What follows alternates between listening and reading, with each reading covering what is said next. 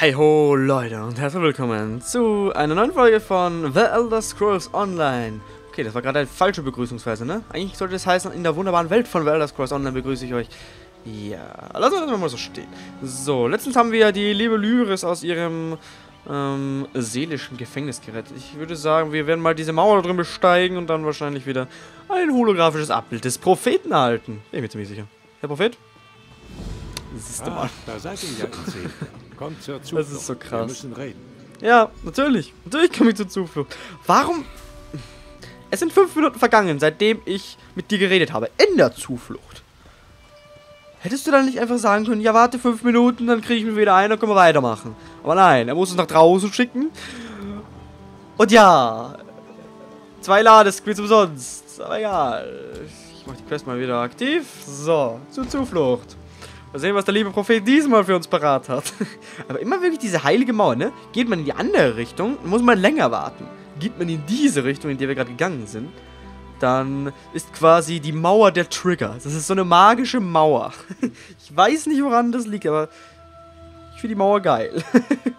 Meinen, sie gibt einen geile Quest. Und diese Quest wird geil. Im Moment ist es noch ein bisschen, ähm, ja, ihr habt es richtig gesehen. Ich habe eine Vergiftung, einen Vergiftungseffekt auf mein Schwert. Und ich habe übrigens auch äh, eine neue Rüstung angelegt. Wir haben jetzt ein bisschen enger geschnallt, um auch ein bisschen effektiv im Kampf vorgehen zu können. Das ist natürlich rein optisch gesehen, aber ich finde es einfach, ich finde die neue Rüstung geil. Ich finde den Style, den unsere liebe Ankora gerade austrägt, sehr schön.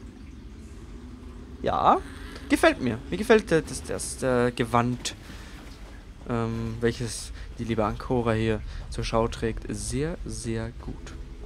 Ja, ich mag das. Das sieht so ein bisschen kriegerisch auch, aber auch so ein bisschen modern. Also im Sinne von mittelalterlich modern. Nicht so klassisch Umhang, wie wir letztens hatten mit der bretonischen Heldenrüstung. Das hier ist ja die elfische Heldenrüstung. Wir tragen nur, El wir tragen nur Heldenrüstungen. Das ist unglaublich. Wir sind voll die Promos. So, Herr Prophet, was gibt es denn? Gut, gut. Ihr seid in Sicherheit. Das oh ja. Glück hat uns noch nicht ganz verlassen. Stimmt etwas nicht, Prophet? Trotz der vielen Tage der Meditation und des Hellsehens entzieht sich mir Sai Sahans Aufenthaltsort noch immer. Die Projektion, die ihr in der Gießerei des Leids erlebt habt, zeigte ihnen große Gefahr. Wenn wir ihn finden wollen, werde ich eure Hilfe brauchen, Entseelte. Und wie genau kann ich euch helfen, Herr Prophet? Sai mag vor meinem Blick verborgen bleiben. Doch Lyris bringt die Nachricht, dass ein Handlanger des Feindes in Wulkilwacht lauert. Den Leuten liegt Furcht auf der Seele. Die Finsternis wandelt unter ihnen. Selbst ein Blinder merkt es. Es ist das Werk Manimarcus. Und selbst ein Blinder merkt es. Gerade ein Blinder merkt es, ne? Mein lieber blinder Freund. Ähm, wie kann ich, wie kann uns das jetzt helfen? Wie kann uns dieses kleine Detail denn helfen? Wenn es wirklich ein Scherge von Manimarcus Wurmkult ist, könnte uns das einen Hinweis liefern, der unsere Suche beschleunigt. Sucht diesen Agenten auf. Aber seid auf der Hut. Der Wurmkult ist ein Kult der Nekromantie und die Untoten sind furchteinflößende Gegner. Oh, das mag stimmen. Wie kann ich diesen Schergen finden? Geht nach Wulkilwacht. Sprecht mit dem Fischer Medie und dem Jongleur Diranor. Von ihren Lippen hörte Lyris zum ersten Mal von dem Übel, das in den Schatten lauert. Findet diesen Schergen des Bösen. Kehr söhnlichen Besitz zurück, den er bei sich trägt. Okay, ich werde das finden und dann zurückkehren. Oder besser gesagt, wir versuchen etwas zu finden und dann zurückzukehren. Also zurückkehren tun wir auf jeden Fall, aber mal gucken, ob wir was finden. Durchsucht Wulkilwach. Es geht einmal nicht nach Kalthafen in dieser Quest 3. Das ist schön, okay. Wir kommen doch einmal in dieser Quest 3 ein bisschen weiter bis, bis zu unserer magischen Mauer. Das finde ich sehr schön. Wir können endlich mal Wulkilwacht, die Stadt am Meer was eigentlich sogar unsere Startstadt ist eigentlich. Das ist, glaube ich, in unserem Heimatland die Anfangsstadt, wenn mich nicht ganz irre. Auridon. Durch den Erwerb der digitalen Imperial Edition erhaltet ihr Zugriff auf das Volk der Kaiser. Das weiß ich doch. Du brauchst mir nicht Tipps hinschreiben, die ich schon weiß, liebes Spiel. Bitte. Ich habe noch keinen einzigen Tipp gelesen, den ich nicht weiß. Für Anfänger ist das Spiel ganz geil. Guck mal. Wenn ich das, wenn ich das Schwert ziehe. Wow. Seht ihr diesen Gifteffekt? Ich finde das geil. Ah, mein Schwert ist vergiftet. Das ist jetzt eine giftige Klinge. Und auch hier draußen in der, in der Sonne kommt unsere Rüstung richtig geil zur Geltung. Ich mag diesen äh, versilberten, oder besser gesagt, äh, hochglanzpolierten Stahleffekt sehr gerne. Und auch dazu dieses geraute Leder. Das ist sehr schön. Ich achte bei diesem Spiel sehr auf Optik. Ist euch das schon aufgefallen? Ich weiß nicht, woran das liegt. Und ich habe auch schon eine Rüstung im Blick für das große Finale dieser Quest. Ja, diese Quest wird spätestens im letzten Drittel sehr, sehr episch, will ich es mal nennen. Gerade das Finale selbst dieser doch, ich glaube, das ist sogar die größte Quest. Oder ich sage eine der größten Quests. Also gerade das Finale wird mega bombastisch. Da könnt ihr euch auf jeden Fall drauf freuen. Also, wenn ihr nur das Finale sehen wollt, kommt in etwa 25 Folgen wieder. Ich glaube, wir sind sogar schon bei Folge 30. Ne, wir sind glaube ich schon drüber, ne? Wir sollten schon über Folge 30 sein, rein theoretisch. Also, ich nehme das alles hier am Stück auf. Ich habe keinen Überblick mehr, bei welcher Folge wir gerade sind. Denn, ja, da verliert man leicht den Überblick, wenn man so viele Folgen im Voraus aufnimmt. Was ist das da drüben? Kommen wir dahin? Sprecht mit Media. Okay. Dann wollen wir mit dem lieben Media sprechen. Da sind wir da vorbeigelaufen gerade vorher, ne? Ist es ein Bootsmann? Es scheint ein Bootsmann zu sein. Ach so, wir wollen jetzt ja Hinweise suchen für Aktivitäten des Wurmkultes. Media, mein lieber Kajit-Freund. Es ist ein schöner Tag, nicht wahr? Die Fische beißen und das Wasser beruhigt mich. Das ist übrigens auch das Schöne an dem Spiel. Man kann wirklich mit jeder Person, die man hier an der Straße sieht, reden. Es hat zwar nicht jede eine Quest für dich, also es hat nicht jede Person eine Quest für dich, aber du kannst wirklich mit jeder reden.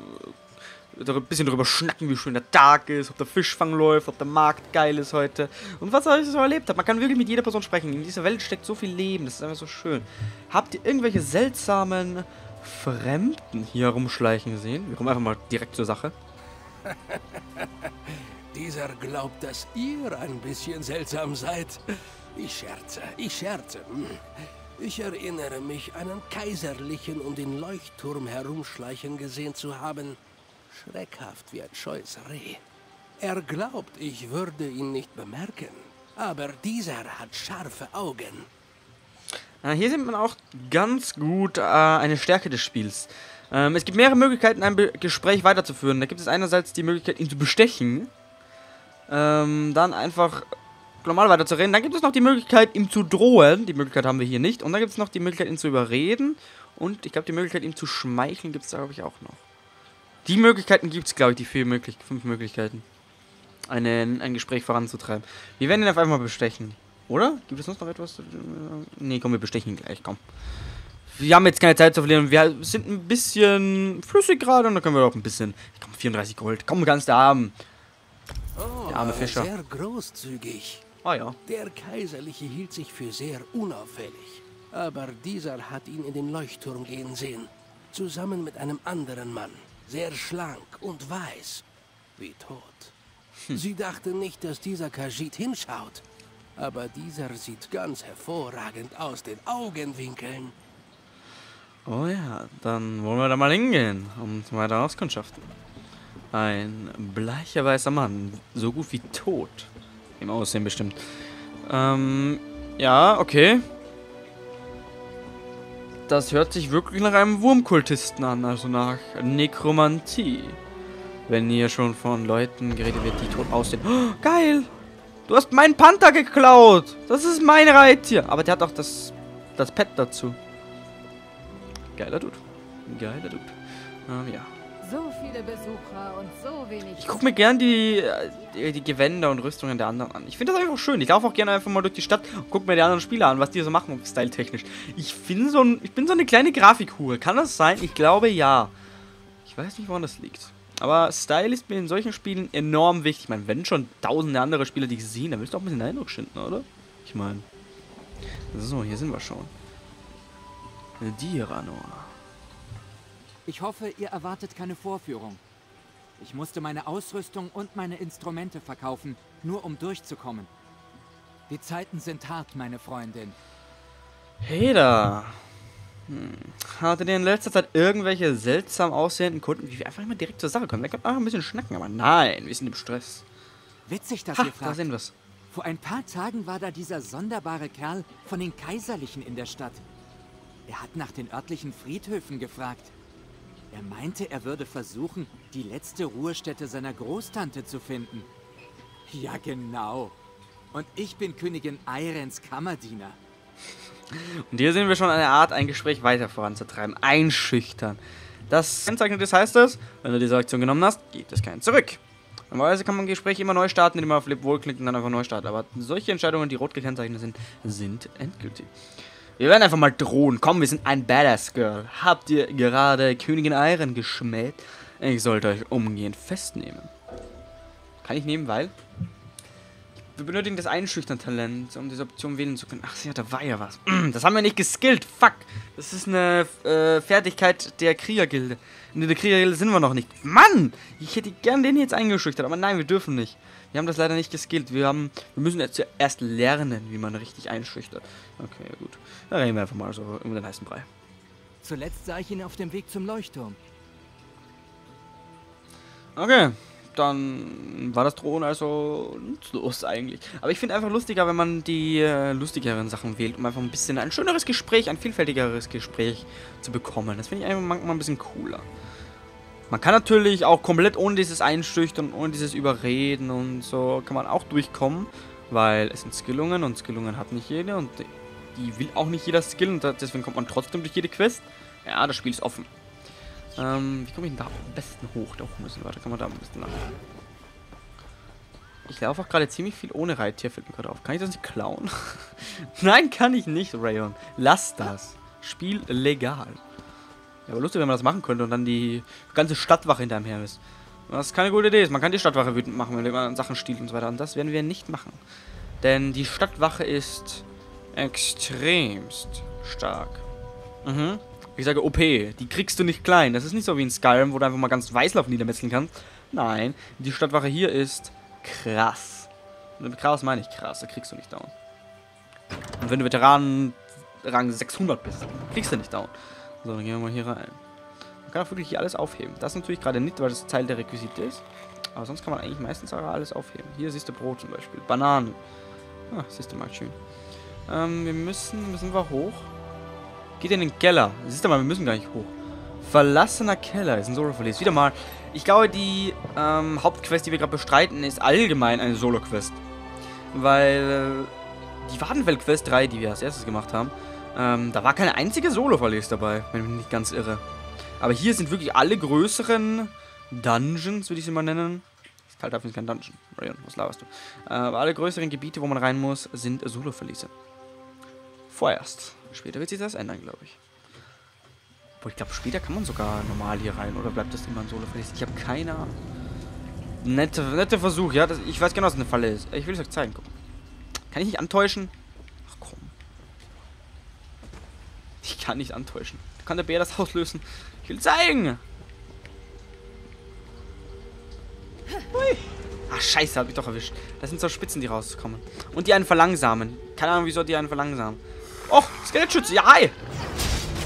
Mein kleiner, lieber Freund. Okay, der, der hat auch nicht groß eine Chance gegen uns. Mein lieber Bär. Du bist ein wilder Wächter. Hm. Dich werden wir auch irgendwann umskillen. Du wirst irgendwann zu einem richtig krassen Wächter. Zu einem erweckten Wächter oder zu einem ewigen Wächter. Wenn die Skillungen dann noch so heißen. Die wurden, glaube ich, schon dreimal geändert, diese ähm, Tiergefährten-Skill-Namen. Ich weiß nicht, wieso sie das machen. Keine Ahnung. Ich habe da überhaupt keinen Überblick mehr. Deswegen gucke ich auch gerne mal im Skillbaum nach, um euch da nicht irgendwas vorzulügen. Und ich werde auch öfters mal jetzt die Tierfertigkeiten einsetzen. Da das gewünscht wurde in den Kommentaren. Ja, ich lese Kommentare. Da diese Kommentare auf YouTube geschrieben worden sind, nehme ich sie sogar ernst. ich sage nochmal, YouTube, nicht Twitter. Dankeschön, Leute. Ja, dann wollen wir den Skelettkrieger hier mal klein kriegen. Da hast du, lieber Ankora, natürlich überhaupt keine Probleme. Ach, ich, ich, ich rede noch davon, dass ich Tierfertigkeit einsetzen will. Was mache ich? Berli, kriegst du das alleine hin oder muss ich helfen? Mal helfen mal. Hat's 9000 mit einem Schlag. Das ist schon leicht krass, ne? Wo sind wir denn hier? Ach, hi. Wie geht's dir so? Berli, hilfst du mir mal? Alter, der macht Schaden. Der macht fucking Schaden. Ah, komm, den kriegen wir down, oder? Okay, das ist ein Bannkreis, wo ich nicht rein will. Ich muss mich stunnen. Ich habe keine... Ich habe keine Magie, kann mich zu stunnen. Oh, scheiße. Ich muss mich heilen. Heiltränke for the win. Ja, ich habe Heiltränke ausgelöst.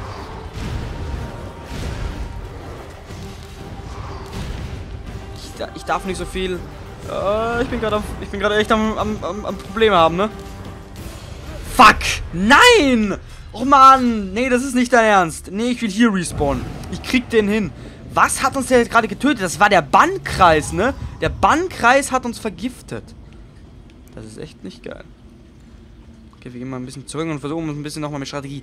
Solche Gegner, ne? Das ist jetzt zum Beispiel ein Gegner, ähm, den wir... Müssen wir den töten? Doch, da steht, untersucht den, das unterirdische Gewölbe. Wir kriegen das hin. Leute, ich glaube an uns. Barely. Fass. So, ein zweiter Versuch. Ich krieg den hin. Barely drauf.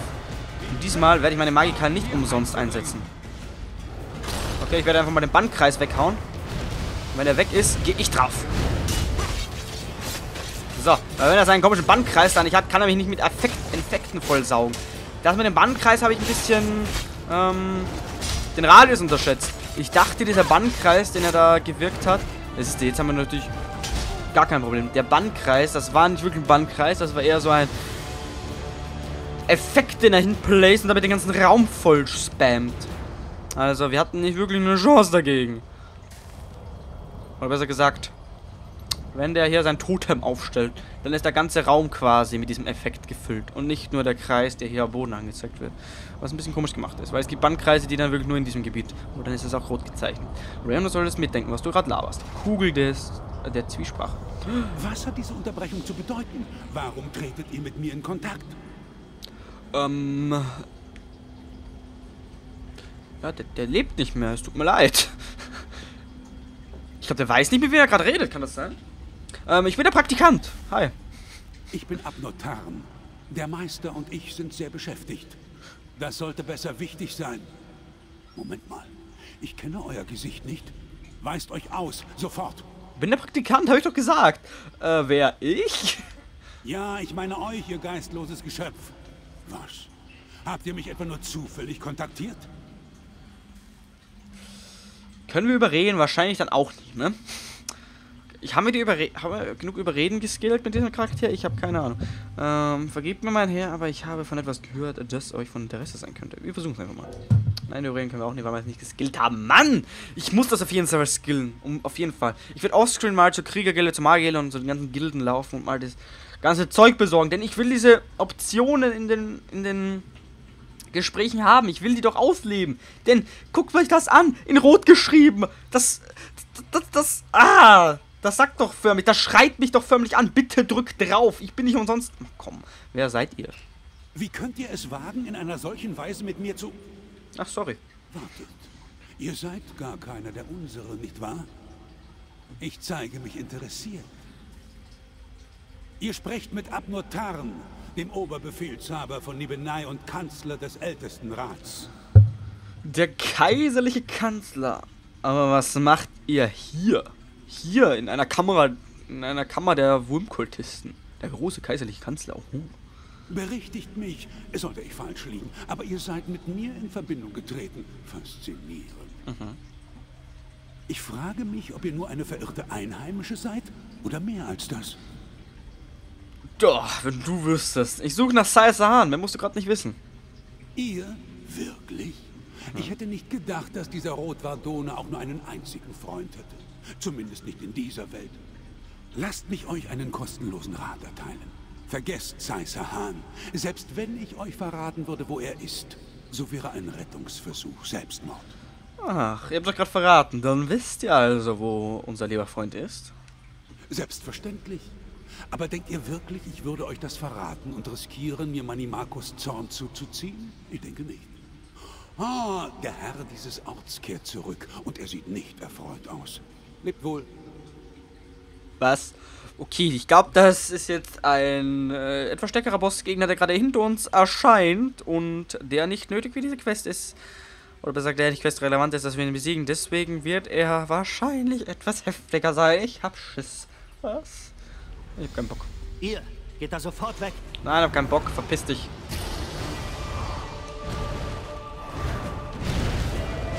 Ich hab keine Magik mehr. Fuck you. Berli, du hältst das doch raus, oder?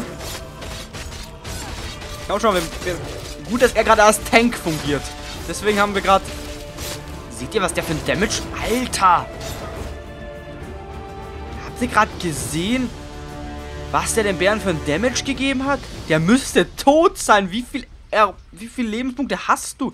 Hätte der uns direkt angegriffen, wir wären tot gewesen. Instant. Also nicht instant, aber nach ca. 15 Sekunden. Berli, ich liebe dich. Früher fand ich den Eissturm geiler, weil es einfach effekttechnisch geiler ist. Aber jetzt, Berli, war ich dich. Du bist mein Schatz. Ah. Rein theoretisch, kann ich den Bären, skin? Gucken. Kann ich das schon verändern? Nein, wir sind jetzt bei Stufe 2. Ich glaube, bei Stufe 5 geht das erst. Hm, schade. Und ich freue mich schon auf den Hitchku. Ähm, ja. Okay, aber egal, Leute. Ähm, wir haben wirklich diesen Boss besiegt. Finde ich gut. Okay, finde ich geil. Vielleicht haben wir so ein bisschen den Champion-Punkten zu verurteilen, aber ja, doch, der Bär hat die Arbeit gemacht. Äh, lobt den Bären. So, Leute, ich würde sagen, das soll es gewesen sein mit dieser Folge von Elder Scrolls Online. Ähm, nächste Folge wird jetzt auf jeden Fall vielleicht ein bisschen spannender. Vielleicht geht es auch nächste Woche. Nächste Woche, was laber ich? Nächste Folge wieder nach Kalthafen. Da hätte ich auf jeden Fall Bock drauf die Zeiss Hahn zu retten. Dieser Quest wird auf jeden Fall noch ziemlich lang gehen. Aber was schnack ich eigentlich? Ihr seht das doch eh in den nächsten Folgen. So, ich verabschiede mich mit einem Ren. Sagt ciao, macht's gut und bis zum nächsten Mal, Leute. Lasst eine kleine Bewertung da und auch ein nettes Kommentar. Tschüss, Leute.